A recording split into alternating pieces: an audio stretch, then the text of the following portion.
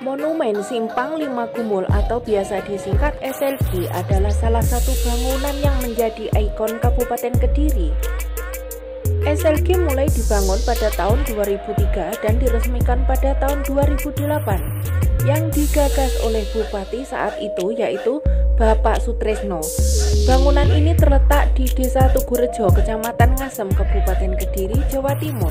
Tepatnya di pusat pertemuan lima jalan yang menuju ke Gampeng Rejo, Pagu, Pare, Pesantren, dan Ploso Klaten, Kediri.